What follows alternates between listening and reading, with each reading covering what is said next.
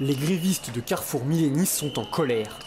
Après l'échec des négociations de la semaine dernière, l'hypermarché a réouvert. Nous, notre objectif aujourd'hui, c'est d'empêcher la vente de marchandises et de continuer à militer pour ce qu'on demande. On ne demande rien de plus, on demande juste à ce qu'ils appliquent la législation et à conserver les acquis sociaux qu'on a acquis depuis plus de 18 ans.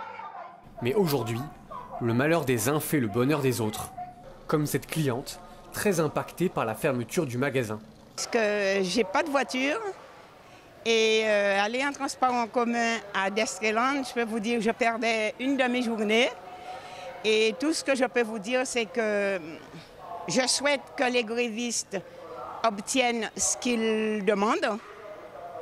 Et je suis quand même contente que le magasin, euh, si le magasin pouvait rester ouvert, euh, ça arrange tout le monde, je pense. La grève a coûté plus de 6 millions d'euros à l'entreprise, dont 1 million de pertes de marchandises.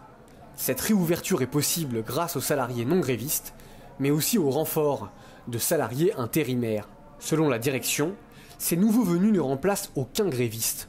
Nous avons un certain nombre de salariés qui peuvent être soit en congé maladie ou, soit en arrêt ou encore en, congé payé. Donc nous avons pris euh, la décision suivante, c'est que toutes ces personnes qui sont en arrêt maladie ou en congé payé peuvent être remplacées légalement comme le prévoit la loi.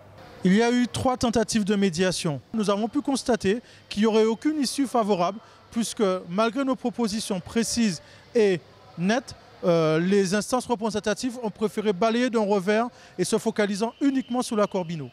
Aujourd'hui, le dialogue semble définitivement rompu. Reste à savoir si le magasin pourra rester longtemps ouvert sans les salariés grévistes.